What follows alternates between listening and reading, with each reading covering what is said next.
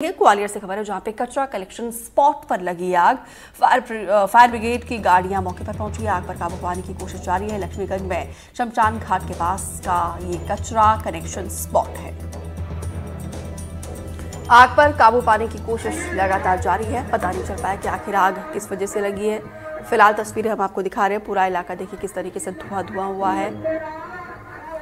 Fire brigade की team मौके पर पहुँची है। आग पर काबू पाने की कोशिश लगातार जारी है, लेकिन इस आग की खबर से पूरे इलाके में अफरा तफरी का माहौल।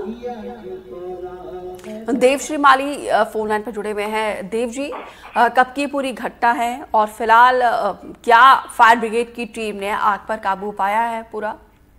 देखिए, ये घटना है देर रात की और अचानक ये जो डंपिंग सेंटर होते हैं ग्वालियर में जो मूल मेन जो केदारपुर जो स्ट्रेचिंग सेंटर है, वो बंद पड़ा हुआ है। तो इसके कारण ये शहर के अंदर तीन चार नगर निगम ने इस तरह के कचरा कलेक्शन सेंटर बनाए हैं और यहाँ से फिर कचरा उठ के बाहर जाता है। ये लक्ष्मीगंज इलाके की घटना है। लक्ष्मीगंज शमशान घाट के पास में जो बुद्धा पार्क है, उसके पीछे कचरा कलेक्शन सेंटर है। वहाँ रात को लगभग ग्यारह दस बजे के आसपास लोगों ने पहले धुआँ देखा और जब तक लोग समझ पाते, तब तक वहाँ तेज आग की लपटें आना शुरू हो गई।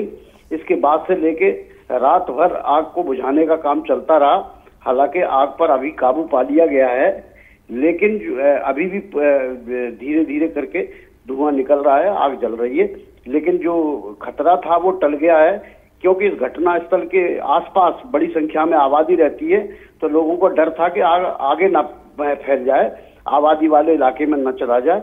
तो इसीलिए रात को लगभग दो बजे तक फायर ब्रिगेड की गाड़ियाँ आग बुझाती रही और फ़िलहाल आग पर काबू पा लिया गया है। चलिए, ये राहत की बात है कि आग पर काबू पा लिया गया है, कोई नुकसान नहीं हुआ है, कोई जनहानि नहीं हुई है। फ़िलहाल विस्तार से जानकारी देने के लिए आपका शुक्रिया।